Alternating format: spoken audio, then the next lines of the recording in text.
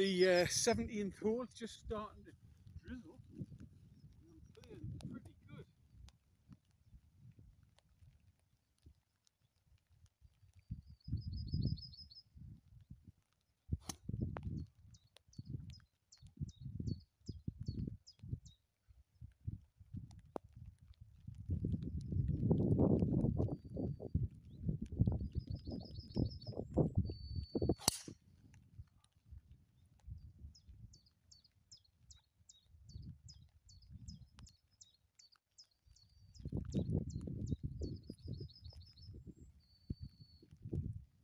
Absolutely fabulous.